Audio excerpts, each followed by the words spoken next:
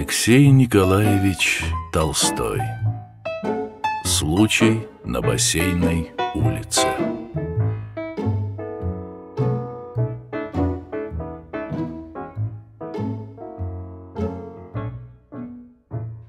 На первый взгляд происшествие на бассейной улице ничем особенным не отличалось от десятка подобных же нарушений Уголовного кодекса. Любопытство к этому делу появилось, когда следователь, прокуроры и судьи увидели лица участников преступления, услышали их откровенные показания, вникли в детали — и от них поднялись к самым широким обобщениям. Решение губсуда прошло под несомненным впечатлением речи защитника. Он начал так. «Нити преступления нужно искать там, откуда была привезена фильма, которую с таким, я бы сказал, религиозным вниманием пять раз смотрели подсудимые. Позвольте отойти немного назад и нарисовать истинную картину всего этого происшествия. В черных, как ночь, широких и мокрых тротуарах отражалась бессонная жизнь больших бульваров. По асфальту отраженным огням, по кровавым от огней лужам летело множество женских ног, и летели в бездонных зеркалах тротуаров опрокинутые эти ноги, короткие юбочки, шелковые плащи. Казалось, вся жизнь, как мрачный, возбуждающий сон, перевернута кверху ногами. Во всяком случае, так воспринимал ее Жиль Боно, тащившийся сбоку тротуара, опустив голову, засунув руки в бархатные штаны. По профессии Жиль Боно был негодяй. Если бы не полицейские, если бы в особенности не полицейские на велосипедах, он бы многое мог позволить себе в этом городе, несмотря на расшатанное здоровье хроническая гонорея, катар-кишок и нервная чесотка. Но Боно был не глуп и отважен. Он получал пенсию 150 франков за ранение на войне. И эти гроши позволяли ему не кидаться, очертя голову на слишком рискованные предприятия. Хотел он многого всей этой роскоши, которая проносилась в длинных машинах по озаренным, как бальные залы, бульварам Парижа. Но больше всего хотел женщин. Надушенные, нежно-розовые, в драгоценных мехах, сучья глаза женщины мучили его до потери сознания — он знал, сколько стоит любовная судорога с любой из этих красоток, и только шуршал осколками зубов, глядя с края тротуара, как лезет из машины длинноногая полуголая девка, мотающая сегодня ночью доллары или фунты. Жель был уверен, что и болен-то он тремя болезнями только от того, что кровь в нем вся в сгустках, вся сдохшаяся от желаний. Он шел, подергивая спиной от озноба, втягивая ноздрями запахи толпы. Брел без цели, без определенного плана, как зверь, пробирающийся тропической ночью в джунглях. Впереди разливалось розовое сияние. В его свете изнемогали, бледнели все огни. Женщины, проходившие сквозь этот свет множество ртутных ламп у вестибюля кинотеатра, казались восковыми. Глаза их сверкали, как стеклянные. С боков входа стояли два щита с пестрыми афишами — Убийство на улице Важерар. Фильмы как фильма, не гвоздь сезона. Но почему-то Жиль остановился перед щитом и, помигивая воспаленными веками, долго рассматривал рисунок. Господина во фраке и в полумаске, с окровавленным ножом, этот франт перешагивал через труп лысого старика. «Забавно», — подумал Жиль, позвенев деньгами в кармане штанов. «Забавный сюжет». Он вытащил горсть меди и вошел в вестибюль. Стоит ли описывать эту кинокартину? Сын банкира и его жена — образец приличной женщины, склонной к слезливости. Затем таинственный красавец не французского происхождения. Он хочет обольстить жену сына банкира, чтобы завладеть капиталом. Затем куртизанка, которая живет среди сумасшедшей роскоши. В сценах домашнего быта этой куртизанки французская индустрия напустила золотой пыли в глаза. В полутемном зале только поахивали. Таинственный красавец, конечно, сводит сына банкира с куртизанкой. Жена сына банкира отказывается от пищи и в среднем сочувствии зала тает в слезах. Сын банкира, конечно, проигрывает в карты и на скачках, где опять громко заявляют о себе дома больших портных и индустрия люкс. Он готов на преступление.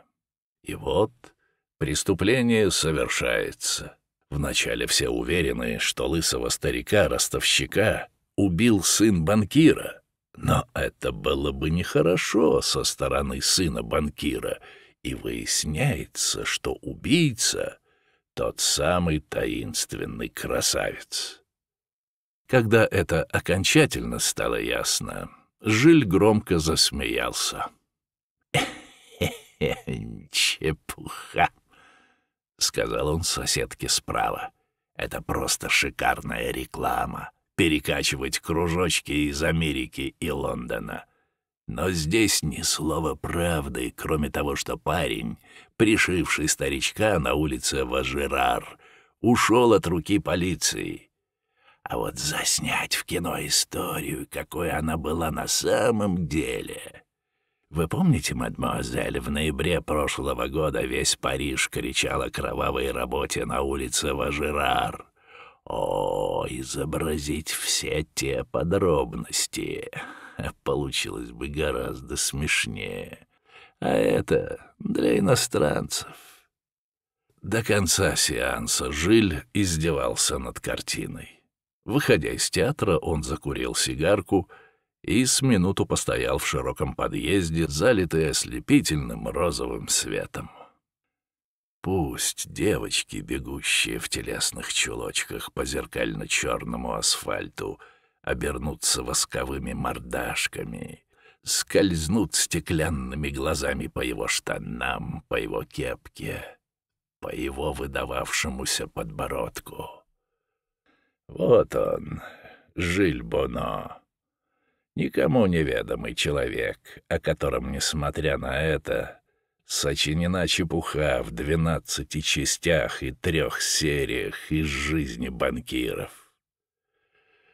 Это он, Боно, направо и налево, на афишах перешагивает во фраке и полумаске через труп. И вот он стоит живой перед вами. Боно действительно имел некоторые основания погордиться на подъезде театра, потому что в ноябре прошлого года на улице Вожерар он, Жиль Боно, без сообщников, зарезал бритвой одинокого старика-консьержа, ограбил его на десять тысяч франков и с тончайшим искусством замел следы. Да, это была минута славы, но одинокой. И в кармане осталось от славы четыре су, то есть не хватит и на рюмку водки. Эти буржуа, эти мировые шакалы, в конце концов, просто ограбили его, Жиля Боно. Выплюнув сигарку, он сошел с поезда и втерся в самую толщу человеческого потока, чтобы, по крайней мере, подышать запахом женщин. Жиль Боно пропал в толпе. Дальнейшая судьба его нас не интересует. Он дал великолепную тему, не получив за нее ни сантима. Его обокрали. Он больше не нужен. Роскошная фильма «Убийство на улице Важерар» пошла гулять по свету, прославляя индустрию люкс, дорогих женщин, волнуя элегантными ужасами и возбуждая адскую жажду. Год спустя фильма попала в Ленинград, на петербургскую сторону, в кинематограф «Леший». Надписи были переделаны, особо вредные места вырезаны. Фильма называлась теперь «Великосветские бандиты Парижа». И вот в июньский вечер смотреть великосветских бандитов пришли Мария Осколкина и Михаил Цыбриков. Марию было 16 лет, Михаилу — 17. Оба они этой весной бросили школу. Мария, потому что уже вышла из того возраста, когда учат уроки. Михаил — потому что весь свет заслонила ему Маринина коротенькая юбочка. Жили они пока еще. Михаил у отца, державшего в Апраксином рынке галантерею, Мария — сирота, у тетки, промышлявшей на дому трикотажем. Поселиться отдельно не хватало денег. К тому же у Марии, или Мэри, как она приказывала себя называть, После того, как она продала на барахолке все учебники и письменные принадлежности, с непостижимой быстротой стал развиваться вкус к мелочам женского обихода. Откуда она доставала деньжонки на подвязочки с бантиками, чулочки, коробочки с пудрой, флакончики духов и так далее, Михаил не знал. Тайна, все тайна. Сплошной секрет. «Если хочешь, чтобы я тебя любила, ни о чем не спрашивай», — говорила ему Мэри. Итак, Михаил и Мэри, зайдя в леший и усевшись на тридцатикопеечные места, разинули рты и перестали дышать, когда озарившийся экран увлек их головокружительным водоворотом на улице Парижа. Так вот он, Париж. Так вот как живут настоящие люди. Красавицы, кокотки, великосветские бандиты, элегантные сыновья банкиров.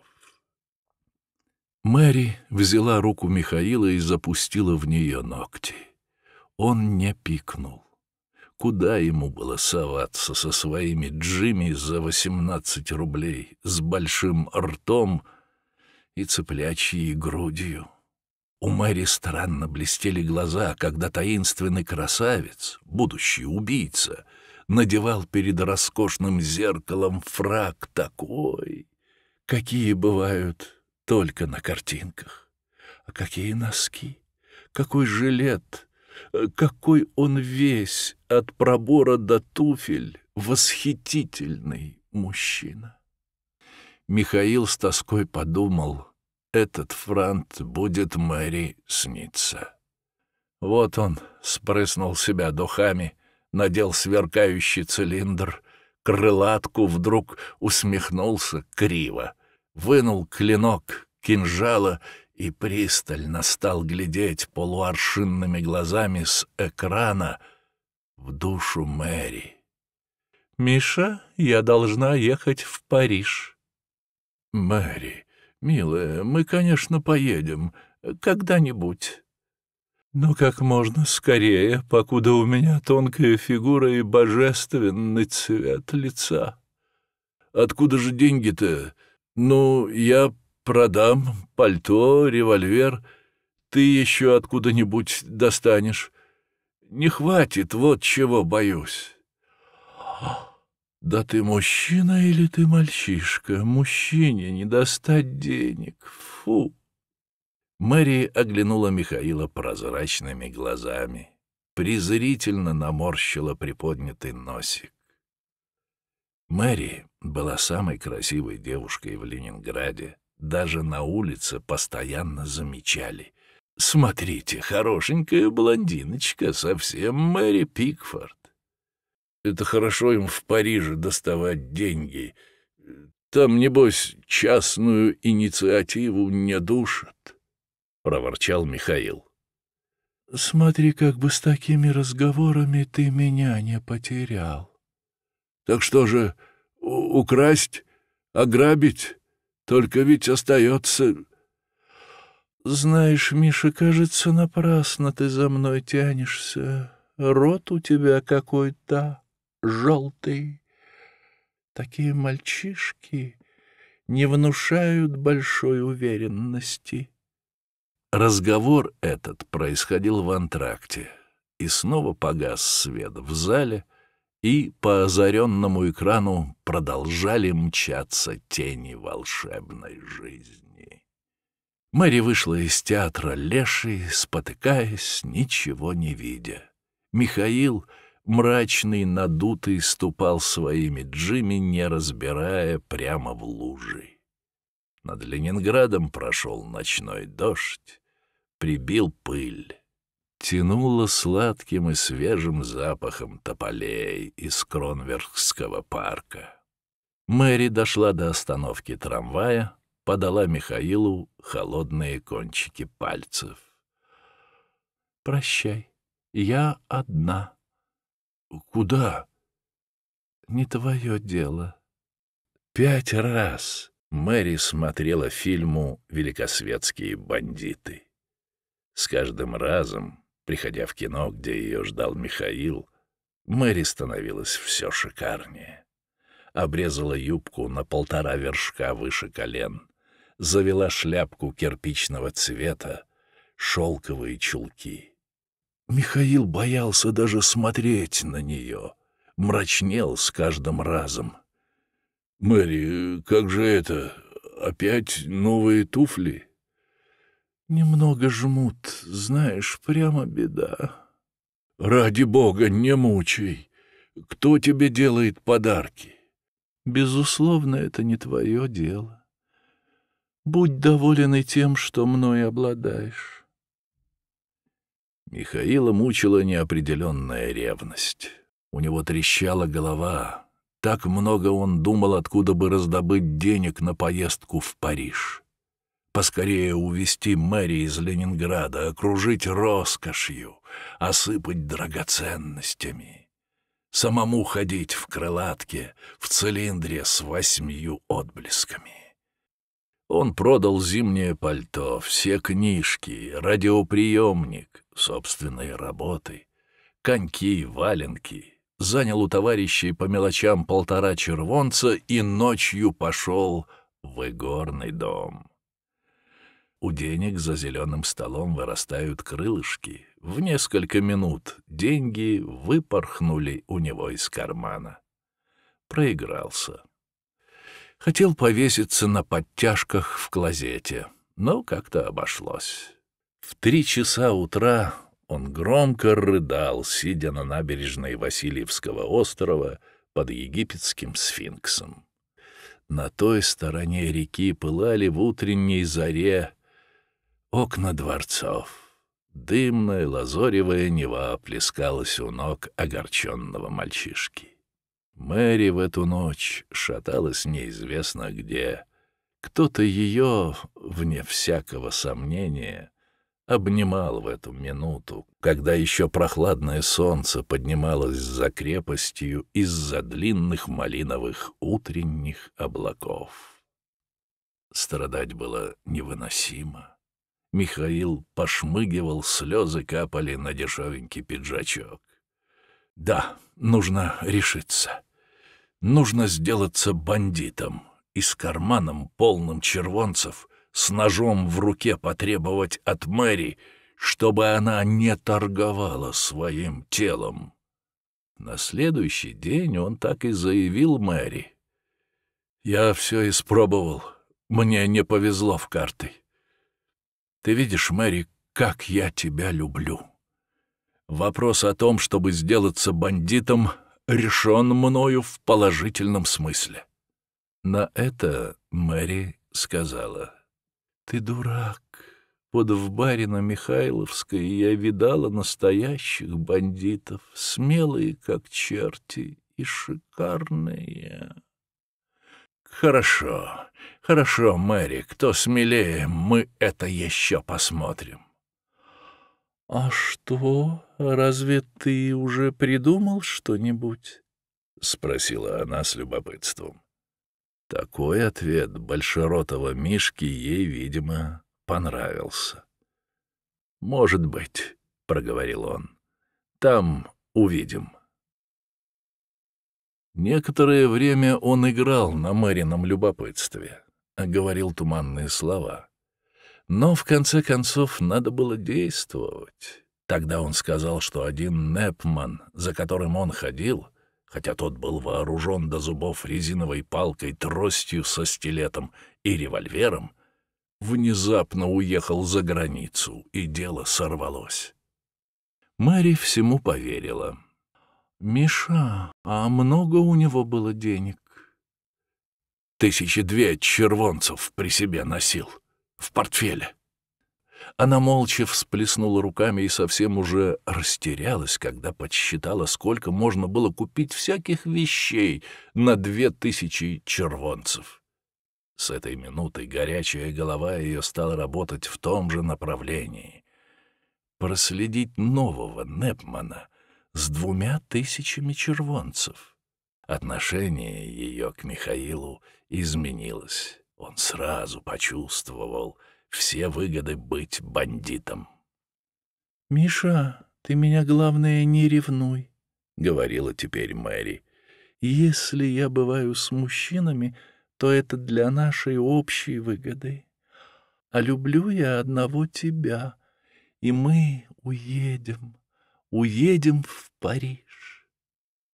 Дожидаясь Мэри в Адмиралтейском парке, Михаил еще издали увидел, как летело по аллее в полосах солнечного света розовое платье, розовая шляпка. Румянец заливал щеки Мэри — не здороваясь, шлепнулась на скамью. Оглянулась направо, налево. Нашла. Есть один. Ну, кто? Непман, богач, колоссальные деньги, женатый, интересуется женщинами и страшный дурак. Его все девочки зовут Тыква. Ну, Миша... У нее расширились синие глаза. «Ну, Миша, зевать нельзя. Пускай только попадется мне в руки. Выпотрошу». Мэри повела Михаила в бар показать тыкву. При одном взгляде на Непмана у Михаила завалилось сердце, черт знает куда. Тыква оказался огромного роста, тучным мужчиной с сизо-бритым жирным лицом, в котором было что-то бабье.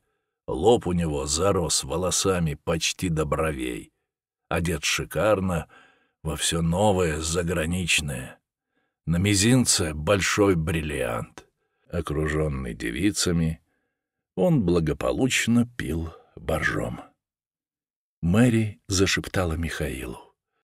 Семья у него в Москве. Здесь он наездом, ворочает делами, и все удивляются, почему он не в Соловках. Так что вдвойне надо торопиться. Она встала и особой походочкой у Михаила сразу защемила в животе от ревности. Прошла мимо тыквы, покачивая бедрами. Он протянул к ней руку — на весь бар брызнули лучи из перстня. «Цыпочка, блондиночка, садись». «Я занята», — строптиво ответила Мэри. Он все же поймал ее руки, привлек к себе и долго о чем-то шептал на ухо. Мэри освободилась, пожала плечами, отошла. Михаил видел, как тыква вытащил платок и вытер жирное лицо и шею под шелковым воротником. Этот Непман в баре казался видением из далекой и волшебной жизни великосветских бандитов.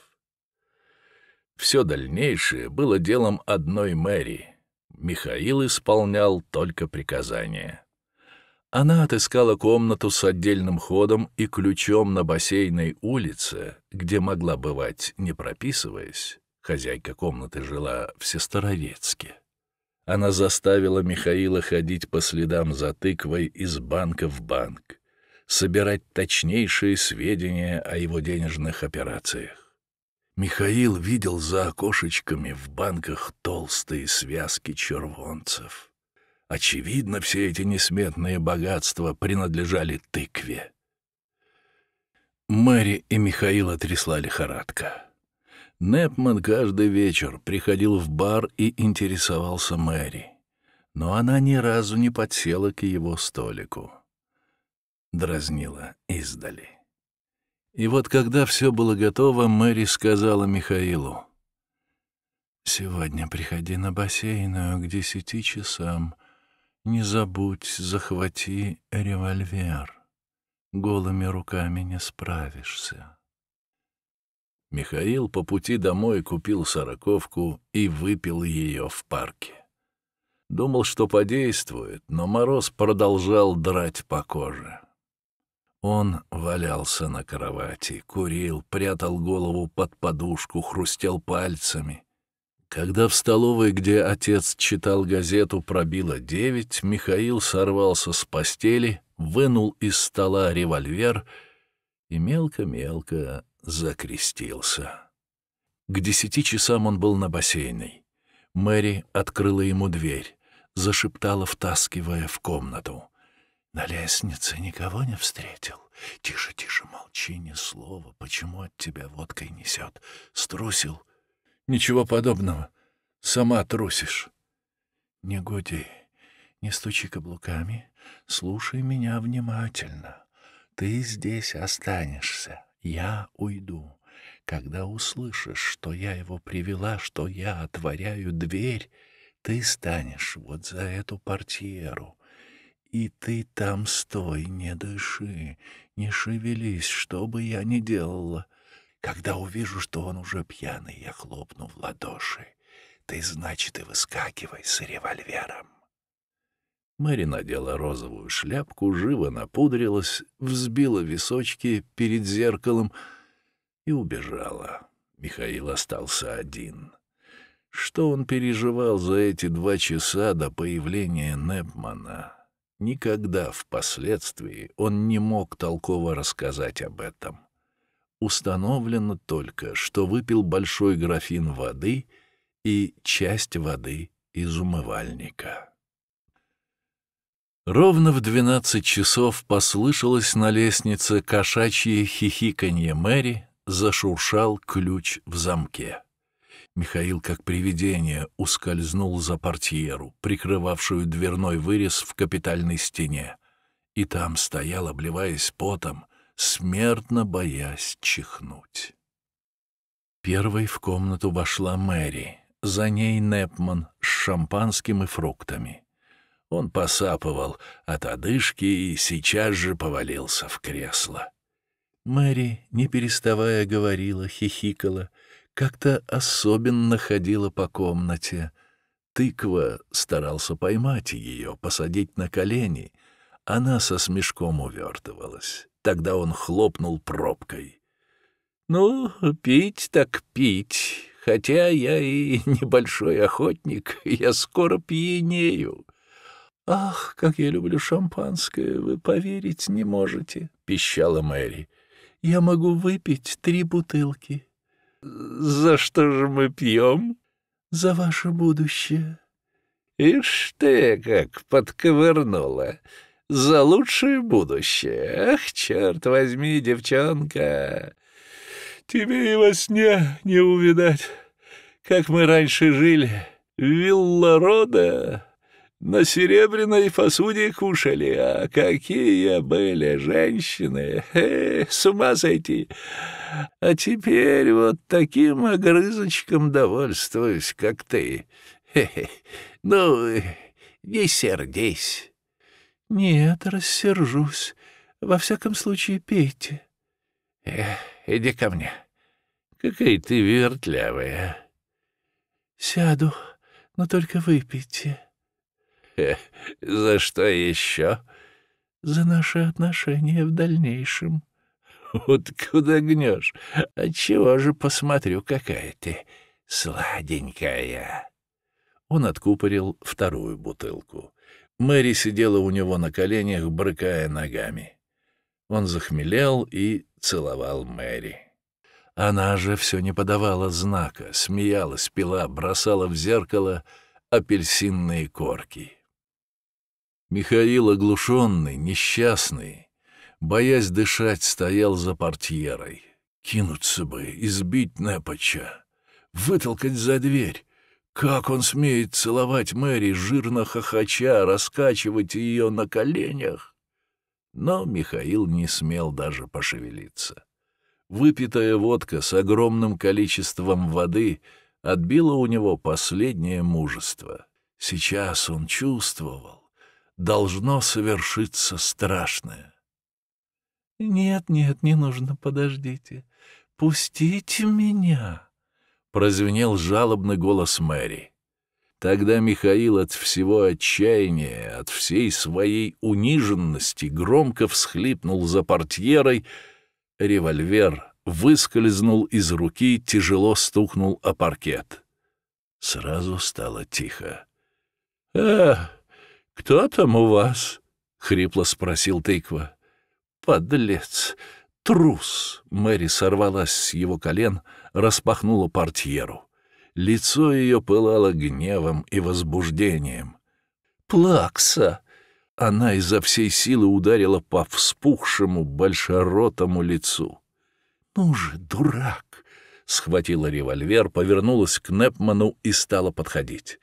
Он сразу осел в кресле, развел руки, челюсть у него отвалилась, выкоченными глазами глядел в черную дырку револьвера. «Денег! Я стреляю!» — сказала Мэри. «У меня нет с собой денег!» — захлопнув челюсть, проговорил тыква. «Не стреляйте! Не стреляйте! Слушайте! Денег! Если крикнете, то...» У меня деньги дома, у компаньона. Я же не ношу с собой денег. Такого оборота вещей не ожидали ни Мэри, ни Михаил, стоявший сзади нее сжатыми кулаками и перекошенной мордой. Револьвер заходил ходуном в Мэриной руке. Тыква совсем струсил и сам помог выйти из затруднительного положения. «Не вертите им, а он так непременно выстрелит. Черт с вами, дам я вам денег, но за ними нужно съездить». Немедленно Мэри стащила с себя панталон и приказала Михаилу разорвать на ленты. Тыква протянул ноги, их связали. Кряхтя, косясь на револьвер в Мэриной руке, он написал записку. Примечательно, что Мэри не сказала цифру и тыква сам указал ее в записке. Михаил сейчас же ушел по указанному адресу. Сорок минут Мэри выдерживала Непмана под дулом револьвера. Иногда только брала апельсин из корзинки, зубами сдирала кожу. «Тихо! Не шевелиться!» — повторяла она, выплевывая косточки. Тыква пробовал ее улещать, стыдил вкрадчивым голосом. Вспомнил даже о своих детках в Москве. Мэри была неумолима, как настоящая бандитка. Наконец вернулся Михаил с деньгами. Привез тридцать червонцев. «Да и богу больше нет!» — завопил тыква. «В следующий раз как-нибудь с большой радостью». «Что? Вам этого мало? «Ну, стреляйте в таком случае, сволочи, если не верите!» Мэри пересчитала деньги, сунула их за чулок. Зло надвинула шапочку. «Хорошо. Мишка, развяжи его. Теперь слушайте, Непман. Мы выйдем. Если вы сейчас же побежите за нами, мы вас застрелим на лестнице. Можете уходить только через десять минут». «Пока», — сказал тыква вслед уходящим и, засопев, потянулся за бутылкой. Через несколько дней Мария Осколкина и Михаил Цыбриков были арестованы в Севастополе. Они сейчас же во всем сознались. Михаил ревел и раскаивался. Мэри держалась равнодушно презрительно. Их отвезли в Ленинград. И вот на суде защитник окончил свою речь следующими словами. «Товарищи судьи, взгляните на потерпевшего, оцените его большую физическую силу, огромную сообразительность, которую он проявляет обычно в деловых операциях. При этих словах тыква стал протискиваться к двери. В зале захихикали. Теперь взгляните на этих подростков, обманутых соблазнами Запада. Эти два романтика новой формации, два посетителя кино — связывают человека, который одним движением руки мог бы их обоих раздавить, как мух. И что самое главное, что я особенно подчеркиваю, револьвер, игравший основную роль во всем этом происшествии, был не заряжен. Мэри с бешенством взглянула на Михаила. Он опустил голову. Из этого револьвера никогда, ни при каких обстоятельствах нельзя выстрелить, потому что это заржавленный и сломанный револьвер. Суд приговорил Марию Осколкину и Михаила Цыбрикова на пять лет условно. 1926 год.